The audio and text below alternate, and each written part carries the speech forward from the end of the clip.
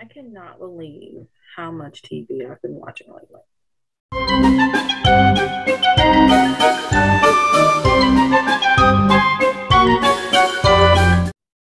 Like, it's ridiculous. I have just been having a rough couple of months, and where I would normally be like indulging in like reading, which is like my favorite. I have not literally had the brain capacity for it. And so I've just been kind of vegging in front of the TV, which is not my preferred. I feel sometimes like doing that drains me, but sometimes you just you just can't do anything more than that, and that's okay. So I've been watching more TV than usual, but I'm starting to get back into my norm. There's absolutely nothing wrong with watching TV, but I usually have a healthy balance of watching TV, reading books, listening to music, going for walks. You know, I haven't really had that balance lately. So let's talk about some things that I've watched. Now, you know, it's been a while since I've recorded one of these videos, so I am not going to mention everything I've watched since the last time I recorded one of these because I don't like doing long form videos. Maybe that's one reason why my channel isn't bigger is because I don't do long form videos, but I just if I'm gonna do a long form video, it's not gonna be about what I watched. You know what I'm saying? I gotta come up with something special for that. Let's start with Netflix because why not? I remember one time I did this. I had to do one video that was all of the other streaming networks, then I did one just for Netflix. Netflix is not where it used to be, but you know, it's still got some stuff on it that I like. So I'm literally just gonna list a bunch of stuff and I might elaborate on some of it. Maybe not. I don't know. Some of this is stuff that's been out for a while and I like got caught up. Some of it has come out recently and I watched it. Doesn't really matter. Let's see. Samurai Rabbits, Lost in Space, Stranger Things, First Kill, Umbrella Academy, Instant Dream House, Morbius, and Masters of the Universe. Um, He-Man and Masters of the Universe. Just that. So yeah, that's a lot of stuff, but I do want to talk about just a few of them. Number one, Morbius was not an awful movie. I don't know why people were hating on it. Is it a, is it a, is it a comic book accurate movie? Absolutely not. So maybe that's what the beef was, but I don't know. You just can't please people. I mean, it was not the worst movie I've ever seen. Like I've seen some really awful movies. Morbius was not awful. Again, is it Oscar worthy? Absolutely not. Is it comic book accurate? Absolutely not. Is it a decent film? Yeah, it is. Okay. Um Instant Dream Home might be my new favorite series, but I binge watched it, so it's over, and I have to wait to see if they get another season. I really hope they get another season. I love what is her name? I, girl, I can't even remember the host's name. Is it Danielle Brooks. That's it. I love her. She's great. She's been in a lot of stuff. She's like up and coming. I mean, she's already, I think, been established pretty well as like a Broadway entertainer, but she's making her way over into like Hollywood and stuff. I think she's on the Peacemaker series. Um, I only saw one episode of that. I keep meaning to go back and try it, but obviously, you know, life. And she it's just I really like her. So anyway, I mean they go in and transform these people's homes in 24 hours. And the crazy thing, it's based off of a UK show that my husband and I watched. My husband and I watched, and we liked the UK show. But of course, you know, we in the US have to do things bigger and better because that's what we do in the US. But regardless, I really like it. Hope they get another season. Um, anything else on here really worth kind of diving into? I've mentioned it before that He Man and the Masters of the Universe, the kid series, not the one Kevin Smith did, but the kid series, it's really good. Like, I am still impressed by it because we were not going to give that show like five minutes of our time. And one day we did, and we have not regretted it since. I hope they get to do another season. They, they just finished season three, so I don't know. Um, Samurai Rabbit, also very cute. I think they just released another series season, so I might check that out. Um, but again, if you're not into animation, none of this is going to appeal to you. Umbrella Academy, um, they're doing some weird stuff with that. Now, this is one of those comic book series that I never read. I knew about it, obviously, before it came out, but I never read it. So I didn't, there, there are just some things that I'm like, if I didn't read it by now, I'm not going to. So if I'm going to watch the Netflix series, I'm just going to watch the Netflix series. I'm not going to go back and compare and all that jazz. So I have no idea if what they're doing is canon with the comic book in any way whatsoever, but it's crazy bon- bonkers. We'll see what happens in the next season. And that was Netflix. Let's go to Hulu again. This is not everything. These are just the things that I've been watching lately. Some of this is stuff that I have rewatched. Like that's where I am right now, where I am rewatching stuff. Like my brain has just been so overloaded lately that I am rewatching stuff. So Struggle Meals, um, Reservation Dogs, Dragons, The Nine Realms, Abbott Elementary, High Fidelity, and The Good Doctor. So again, not going to go into in depth about all of this kind of stuff. I'm going to touch on a few things. I'm going to start with The Good Doctor.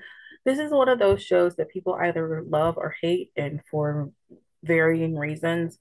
Um, I find that one reason that I've heard that people hate it is because it's a very specific um, representation of um, a person who's on the spectrum, but who also has, um, um, oh my goodness, why can't I get savant syndrome? And so they're like, it's very narrow-minded view of autism spectrum disorder. Fine. Um, there's another show I think that's on Prime. I haven't watched it. That is supposed to be like the opposite of that, where they have like these people with autism who are very extreme, like on the other end. And I personally feel that you just cannot please people. This this is what it boils down to.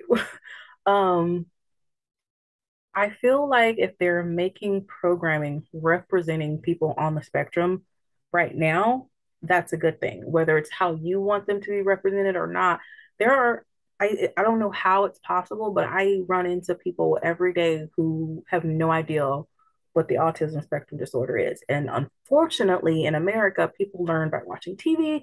So the more they release programs like this, the, the more awareness um, people are going to have of the condition. And so whether it's the representation you want or not, at least it's out there, you know?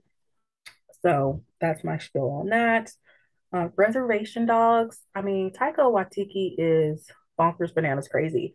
That that show is good. I can't really go into any further explanation other than if you like weird stuff, check it out. I mean, that I mean, yeah, it, of course, it's one of those whole representation matters things because you're getting a glimpse into the life of um, living life on uh, a modern day reservation. You know, so it's not like these historically inaccurate accounts of you know native people in you know headdresses living in teepees. Um, their place in time where that was you know the reality, but that wasn't the reality for all Native Americans, and so um, to have a, a representation like this where they show you know different people and i mean i just i really like it. Um but it, it is really weird. I'm not going to say that it's not. So i love the fact that you get to have this view of indigenous culture that you don't normally get. And i'm all for it let's see anything else on hulu i want to elaborate on struggle meals the bomb i just there's nothing more to say about that high fidelity the bomb okay let's move on to Prime.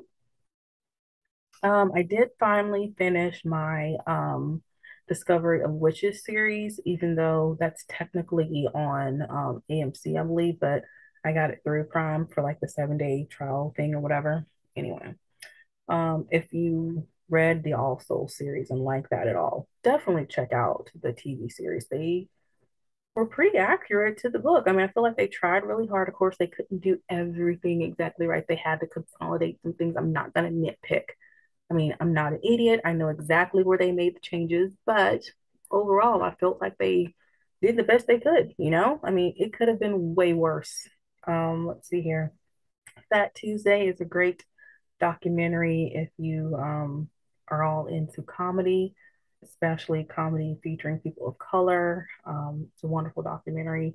The Outcast, still in the process of watching that. Uh, finally watched No Time to Die. I mean, I guess if you're gonna kill off James Bond, that's the way to do it. And if that's a spoiler for you, I don't really know what to say. Um, yeah. Uh, and then the 355 not as good as I thought it would be, but still not bad. I mean, I love the idea of what they were trying to do with it. Um, still, I don't know. I feel like it could have been better. I think the cast was amazing. The concept was pretty good, but I don't know. I don't know. I almost feel like they were trying too hard. There were moments where I was just like, yes, yes, yes. And then there were moments were like, yeah, mm, mm, you know. But either way, it was definitely worth watching. Um, Disney Plus. Again, I'm just gonna go through the list. Again, some of this stuff is a rewatch. I mean, you know, Miss Marvel, DuckTales, She-Hulk, Miss Peregrine's Home for Peculiar Children, the Groot shorts, and the Baymax shorts. Um, so let's see here. I feel like there was some other stuff that was worth mentioning, but honestly, if I can't remember it right now, you know, um, of course, people were hating on Miss Marvel because why not? She's female and she's a person of color. I don't think there's a whole lot I need to say about that. I enjoyed the Miss Marvel show. Um, I went back and rewatched the DuckTales, not the original DuckTales, but the remake DuckTales because I love DuckTales. um, I'm very much enjoying She-Hulk, but the same thing. We're talking about a female um, comic book character, so people are going to hate on her because, you know, reality. Um, Miss Peregrine's Home for Peculiar Children is messed up. I don't, again, not really sure another way of describing that other than to say it's messed up. I guess if you read the book as a kid and you were like nostalgic and stuff, but I never read the book, so I just watched the movie. And I'm like, this is a Disney film?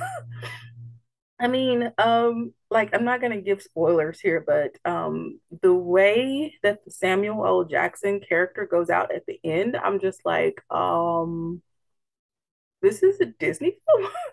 I don't think it was an original Disney release. I think it was one of those other studios that like Disney acquired, but still, it's on Disney Plus. Now I know Disney Plus has that thing now where you can have like adult content or then just like regular stuff. And it's part of the regular stuff. Like it's not part of the adult content. And I'm just like, what? this movie is messed up. So anyway, um, not not necessarily bad, not necessarily good either. That's one of the ones where you kind of have to see it for yourself and decide. I am still undecided at this point.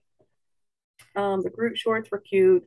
The Baymax shorts were cuter. Um, don't get me wrong, I love me some Groot, you know, but I wanted more of the Baymax shorts. When I finished watching the Groot shorts, I was like, yeah, those were nice. I liked it. Yeah. But the Baymax shorts, I was like, I want more. Yeah, okay. Um, HBO Max. Haven't spent a time on HBO Max, you know, which is, you know, odd since I've been vegging so much. Um, we started watching Barry, which I don't know what it is about serial killers. You know, Dexter was my boy for the longest time. We're gonna see how I do with Barry. Um, we did watch the Hellboy remake movie, and that was just a hot mess. Not really sure how else to describe that one either. So this is one where people like bashed it really bad, and um, I'm not going to completely disagree. I don't think the movie was trash. I really don't. There were some redeeming qualities to it. I have seen worse movies. So again, I feel like people are just too harsh. They have too high of expectations. With that said, though, this movie could have been way better. So, hot mess, um, good or bad, it's kind of up to you to decide. I definitely don't think it was good, but I also know that it wasn't the worst thing I've ever seen. There were some entertaining qualities to it. And then um, I did actually see a movie in the theater. I know, I can't believe it. I saw Thor Love and Thunder. I've heard some people bash that movie as well, but again, it's like, what exactly were your expectations going into seeing that? Anytime I know a movie is either made by Taika Waititi or he's going to appear in it. I don't have really high expectations in terms of this seriousness of the content. Now, he might touch on some serious subject matter, but that dude's crazy. So I can't go into a movie with him in it thinking that it should be more serious than it is. It's going to be over the top and outrageous and hilarious and all that kind of stuff. And if that's not what you're into, then don't go see it. But don't go see it and complain that it wasn't serious enough. We are talking about comic book movies here. You know, even if they're doing a comic book movie about the Grim Reaper, you know, death, it's still comic book related. So it's okay if it's not that serious even if you're doing like something like Spawn, where it should be dark and serious and blah, blah, blah. But what I'm saying is, if it's not, it's okay.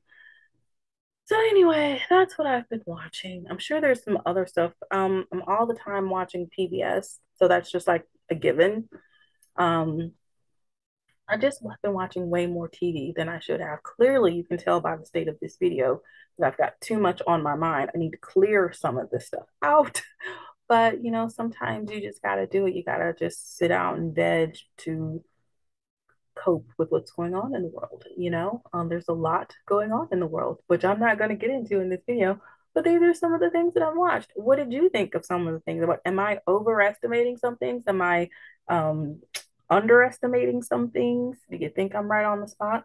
What have you been watching? Is there something I need to check out? Am I missing something?